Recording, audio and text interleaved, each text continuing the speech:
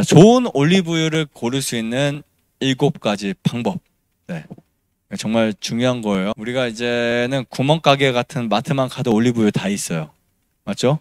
어, 그냥 시골에 작은 마트 가도 올리브유를 쉽게 볼 수 있습니다. 하지만 좋은 올리브유는 제한되어 있다는 사실을 꼭 이해하셔야 돼요. 첫 번째는 작은 병을 찾으셔야 돼요.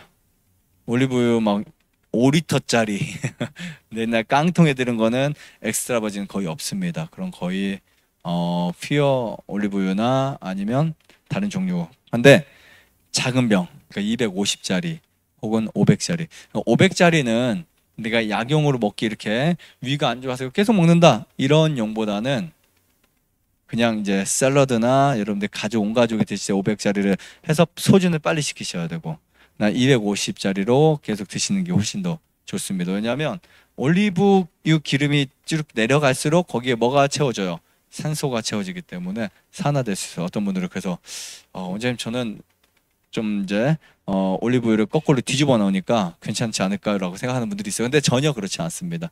공간이 있기 때문에 그 공간이 뭘로 채워져야 돼요. 만약에 질소로 채워지면 괜찮아요.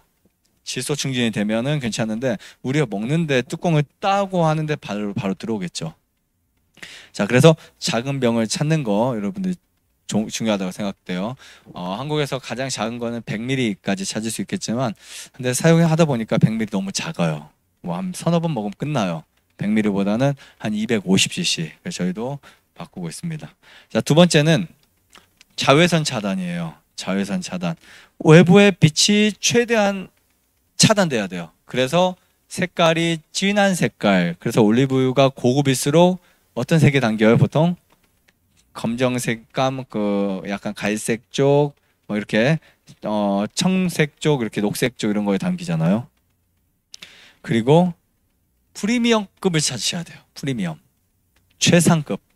근데 보통 extra virgin을 우리가 다 프리미엄급으로 생각할 수 있지만 그렇지 않습니다. 거기에서도 premium of premium. 프리미엄 중에 프리미엄 그 아주 좋은 프리미엄들 있어요. 정말 최상급 있어요. 이런 거 찾으셔야 돼요. 거의 이 부분은 산도와 관련이 되어 있습니다. 산도 뭔지 아시죠?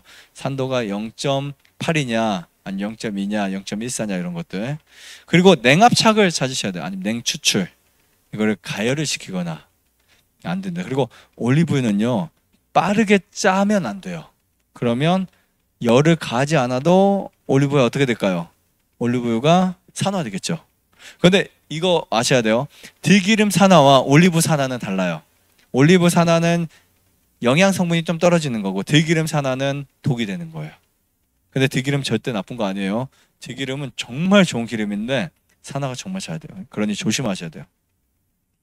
산도가 낮은 거 찾으셔야 돼요.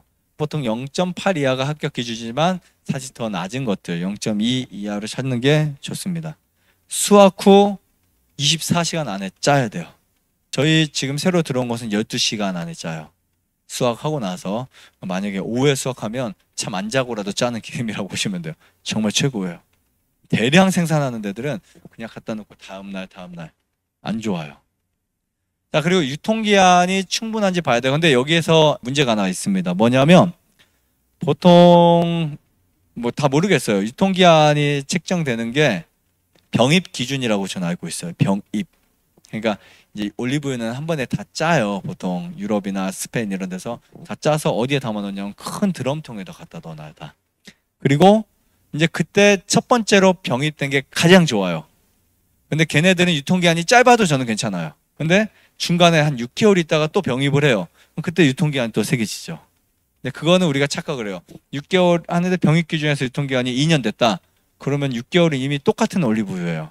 그런데 얘는 한 번에 병입돼서 6, 어, 1월 1일자에 담긴 거고 6개월 그 똑같이 짠 그 오일이 드럼통에 담겨 있다가 6개월 후에 당기면 그때부터 유통기한 또 2년이에요. 그 다음 다음 6월 가지고 이건 그 다음 다음 1월 달까지인데 뭐가 더 좋을까요? 어차피 짠 거는 똑같은데 소분돼서 넣는 그게 더 좋겠죠. 맞죠? 물론 그땐 짜가지고 바로 넣었으니까 전 이제 좋다고 생각하는데 이제 이거를 잘 모르는 분들은 어차피 올리브유 기간은 1년 아니면 2년, 3년 이 주기예요. 어차피요. 2년 주기예요. 그러면 우리가 1년 안에 소비하는 게 가장 좋고 그렇지 않은 병은 기준이 늦을수록 만약 가을쯤에 병이 겠다 이제 병에다 넣었다 하는 그 올리브유가 어 되게 많이 남은 것 같은데 사실은 의미가 없습니다. 무슨 말인지 아시겠죠? 그래서 그런 부분도 여러분 고려하시면 훨씬 더 좋을 것 같다라고 생각이 되고요. 좋아요, 구독. 눌러주세요. 눌러주세요. 눌러주세요.